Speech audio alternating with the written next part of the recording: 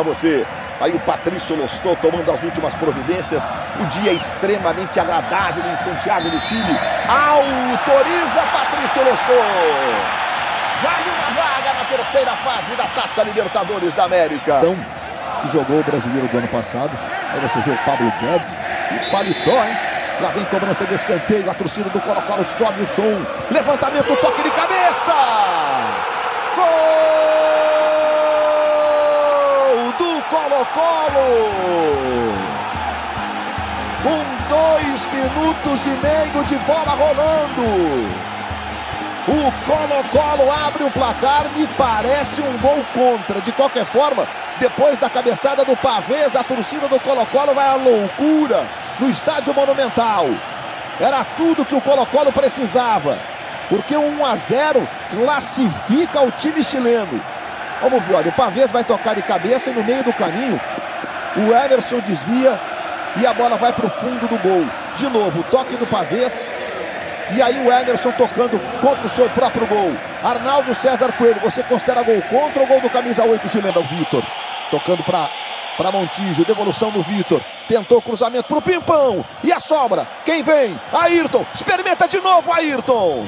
Tem que ter confiança. Futebol na Globo. Aqui é emoção. A diferença é que se houver vitória de 1 a 0 do Milionários, pênaltis. Montijo foi seguro. Aí é antijogo clássico. Não tem jeito, né, Arnaldo? Primeiro cartão amarelo do jogo, bem aplicado. Jogador número 2, o adversário é o antijogo. E o zagueiro que foi buscar o Montijo lá. O Montijo sai para receber a bola, ele vai buscá-la. Falque do time chileno. Aí Montijo fez o levantamento. Foi lá bem o Vidiar, o paraguaio, o goleiro da seleção paraguaia. Três copos. que está atrás do gol do Gatito Fernandes. Garra Blanca. Aí Paredes, ajeitando para o Fernandes. Ele chuta bem de fora. Fernandes! Futebol na Globo, aqui é emoção. Ricardo Eletro. Ayrton Lindoso. Botou pro Montijo.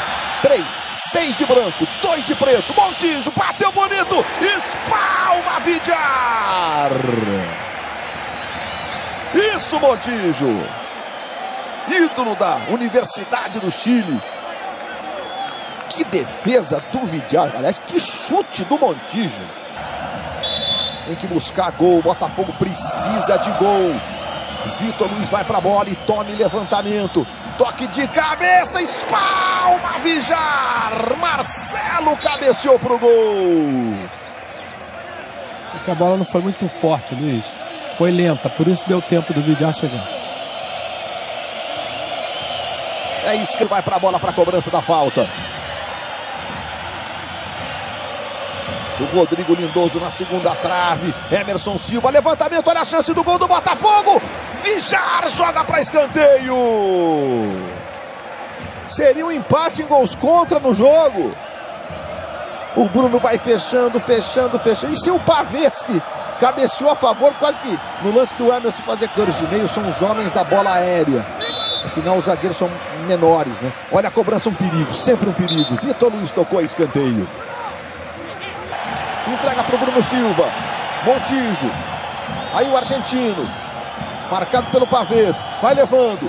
Tocando para o Jonas. Cruzamento. Lindoso. Que chance, Lindoso. Um pouco mais de tranquilidade, né, Luiz? Porque não dominar essa bola, já que ele estava sem posicionamento frontal. Pô. Dominava a bola, ele está sozinho. Domina e finaliza. E chegou e ainda podia passar para o João Paulo. Vamos para os pênaltis. E aqui chegando o Ribeiro, preparou para o Fernandes, bateu para o gol na trave. Bola desviou no meio do caminho. E o gatito Fernandes quase foi pego de surpresa. Você vai ver, olha, chute do Fernandes. Tem um desvio nas costas do João Paulo. O gatito dá um passinho para trás e espalma para ele explodir na trave. Dominou, tocou no Montijo. Montijo clareou, botou na direita. Pimpão levantou, vai fechando o Guilherme. E a sobra do Vitor Luiz. Vai, Vitor! experimentou e jogou sobre o gol. Gente tem mais gols agora de Copa do Brasil. Vamos então agora para Lusiânia e Vitória. Ela nunca encantar a torcida, né? O levantamento lá pro Pimpão. Capricha, Pimpão, capricha. Pimpão bateu pro gol. A bola foi da direita do Vijar. Futebol na Globo, aqui a emoção. Titular, inclusive. E o Fernandes recebeu. O Paredes está pedindo, recebeu. Pedro Paredes clareou, bateu pro gol. Gatito Fernandes. Guilherme recebeu do lado esquerdo. Vai Roger pedindo cruzamento. Roger voltou Pimpão, bateu. Gol